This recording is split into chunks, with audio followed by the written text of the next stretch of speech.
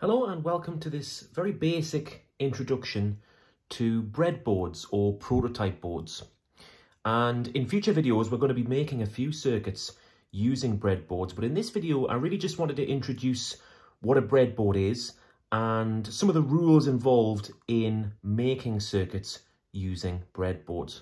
So breadboards or prototype boards are boards that look like this and whose purpose is to allow us to create circuits in a non-permanent way. You can see that the breadboard has this plastic fascia made up of lots of rows of sockets and with these sockets we can insert components or wire links in a way that we can build up uh, very simple circuits in a way that they can be disassembled again. So we're not using the components permanently, we're just using them for the purpose of creating a prototype.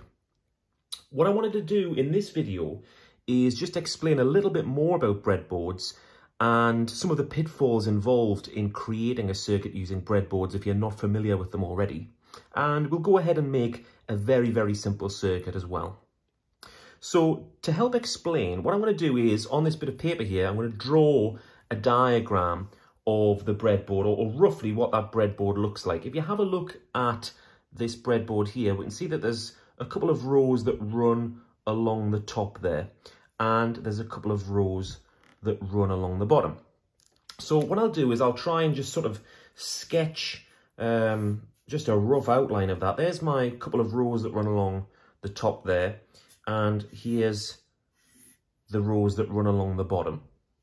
And in the middle you can see we have a sort of patch of sockets here and here running either side of this groove that runs down the middle. So again, I'm going to try and sketch that in my diagram here. I've got a sort of uh, area of sockets there, an area of sockets here, and then I have this sort of, this gap, this groove that runs down the middle. So the reason I've drawn this out is because behind this plastic fascia, there's actually um, conducting metal connections that run underneath um, the plastic fascia that connect the sockets together. But depending on which rows or sections uh, that we're talking about here, depends on the direction that those connections take. So for example, these top rows and these bottom rows here, uh, or rails, are connected together by an electrical connection that goes along each row. So again, what I'll do is just with a, a pen here, I'll sketch that we have some kind of um, electrical, electrical connection that runs along each row. Likewise, at the bottom, we've got these two rails at the bottom here. And again, these have a metallic connection or rail that runs along and connects all of those sockets together. So for example, if I was to plug something into um, that top row there, it would therefore be connected to anything else connected on that same row. There's a metallic conductor that runs along that row. Likewise at the bottom, if I was to plug something into this row, say, then necessarily it would be connected to anything else along that row as well. In the middle, on the other hand, these two sections that run in the middle is slightly different in that these connections run vertically. And so we have each row, uh, or each column rather, down these sort of middle sections of the breadboard are connected vertically. Likewise, in that bottom section, um, it's the same thing. We've got these vertical connections. However, those connections don't span this gap or groove that runs down the middle here. So what I mean by that is if I was to connect something um, in a given row there, uh, that's the third, the third column on my breadboard, then it would be connected to anything else in that third column on the same side of the groove but it wouldn't be connected to anything in that third column below the groove. So what we can do is by knowing these two um, rules, that these um, connections run horizontally on the rails and they run vertically in these central sections, we can now start to create um, some simple circuits. One thing I'll point out, and it depends on the, the exact sort of model or type of breadboard you've got, but in this particular example, the rails actually have a gap as well at the halfway point. You can see um, denoted by the lines that stop there. Um, so actually, these top connections um, are not connected to the same uh, row on the other side of that gap in the middle. If we wanted to have a rail that runs all the way along the top, then very simply, all we would need to do is connect a wire link that joins or bridges those two together. And now we've got one rail that runs all along the top there. But that's just something to watch out for um, if you've got a breadboard similar to this. Okay, so what I want to do now is I want to create a very simple circuit. And the circuit is going to look something like this. I would like to have um, a 9 volt battery. So there's my uh, 9 volt um, voltage there. And I would like that to be connected to a resistor. And it's going to be a 470 ohm resistor. And I would like that resistor to be connected to an LED. There's my LED. And then back to the battery again. That's the circuit that I want to create.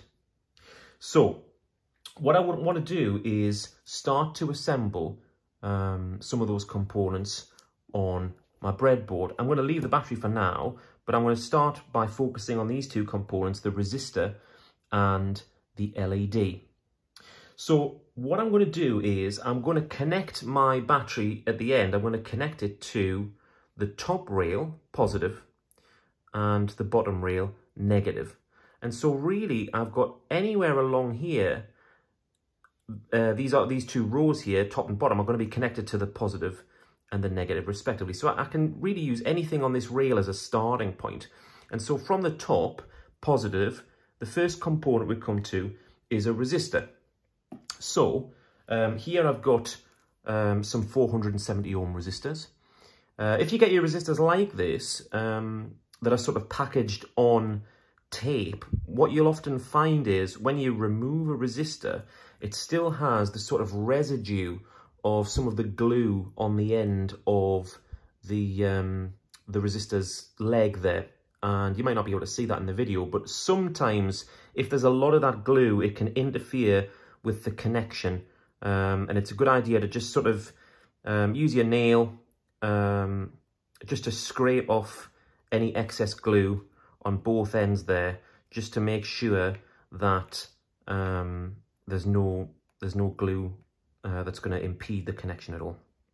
Another good thing just before doing anything else is you can see maybe that there's a slight um, bend in the wire there, a slight sort of um, kink in the in the the, the, the metal leg there. And what I want to do is try and straighten that as much as possible. If, if one of the connections is already bent, when you try and put it in, it might not go in properly. So it's a good idea to make sure that you've got um, straight legs to your components wherever possible. So anyway, on this top row here, anywhere along that top row, I'm going to connect my resistor, or one end of it at least. Where does the other end go? Well, what I'm going to do is I'm going to place that anywhere really, it doesn't matter for now, in the central section there. And what I'm conscious of, remembering this groove here, one of the common sort of pitfalls when I see people create breadboards, uh, breadboard circuits for the first time, is that they'll do something like this. Here's my next component, my LED. They will then use the same row, they'll connect their LED something oops, something like this, um, well, what's the problem there? The problem being, remember that our electrical connection doesn't span that gap there. So this resistor is not connected to this LED, even though they're in the same row, they're on the other side of the groove there. So that connection from resistor to LED is broken. So I want to make sure that the LED is on the same side as the resistor, on the same side of the groove, but it's also in the same row. So we'll have something that looks like that. Just a word of warning about LEDs. Um, you might be familiar with LEDs from creating circuit simulations or drawing diagrams, but maybe this is your first time actually um, using a physical LED and creating a circuit with one. LEDs are examples of semiconducting components. So a resistor is not a semiconducting component, it's a passive component in which I mean that it doesn't matter which way around it is, we can turn that resistor around, doesn't make any difference. For an LED and other components like diodes and transistors and things like that, it does matter which way around the LED goes. The easiest way to know which way around an LED goes is you'll notice that one leg is slightly longer, if I straighten those out, ever so slightly longer than the other. The longer leg is positive, the shorter leg is negative. What if the LED's legs have been cut or they've been trimmed and they're both the same length?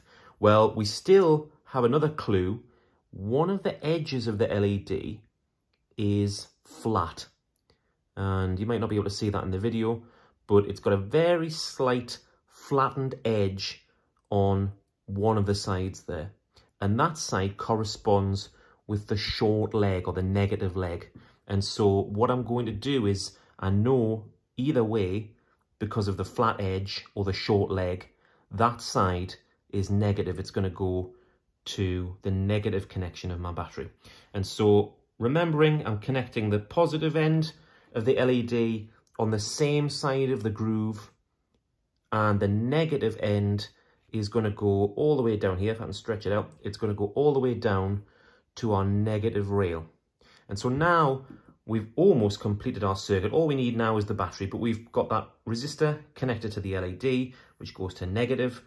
All we need to do, do now is connect the battery. And I'm going to use one of these um, battery snaps to do that. Uh, this is for a, a PP3 9 volt battery. Um, all I'm going to do is I'm going to connect the positive end, the red, to the positive rail of my breadboard there. Again, doesn't matter really where, anywhere on this um, row would do because they're all joined by that connection that runs underneath. Likewise, negative, the black to that negative rail there. And so hopefully, fingers crossed, if we uh, get a battery, which I've got one here, and we connect that, making sure that we have it the right way around, we should get our LED lighting up. Uh, you'll notice it disappeared just for a moment there. One of the, the tricky things with breadboards is sometimes the connections aren't as secure. So that red wire there wasn't um, in as far as it would go. And so it's just something to watch out for to make sure that your connections are um, securely in place. Another thing to watch out for is the opposite. Sometimes you'll notice, well, in fact, let's have a look at the depth of the breadboard.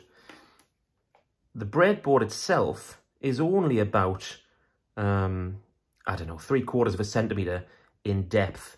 And not all of that is accessible for the connection to be inserted.